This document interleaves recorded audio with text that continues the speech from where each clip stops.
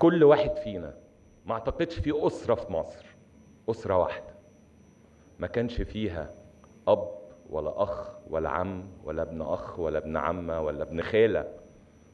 ما خدمش في قواتنا المسلحة أو في الشرطة وخدم هنا وبذل روحه سواء استشهد أو أصيب أو شارك في عمليات.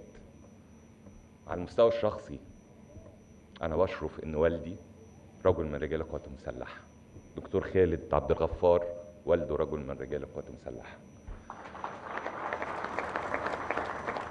أنا بحلف لكم والله العظيم من وأنا من أول ما ابتديت أوعى وأبويا بيحكي لي حكاياته هنا من 56 و67 و73 وقال لي قد إيه زمايله شافهم وهم بيموتوا ويضحوا بحياتهم عشان الأرض دي. عشان كده كل ذرة رمل هنا إحنا مستعدين كمصريين نبذل فيها ملايين الأرواح بس ما حدش يقرب منها. أعتقد دي رسالة واضحة أنا ببدأها النهارده ترد على حاجات كتير وسيادة الرئيس قالها في كل الفترة الأخيرة.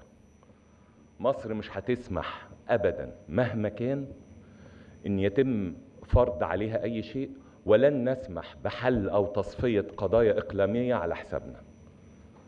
دي حاجة مهمة جدا لازم كلنا نبقى عارفينها.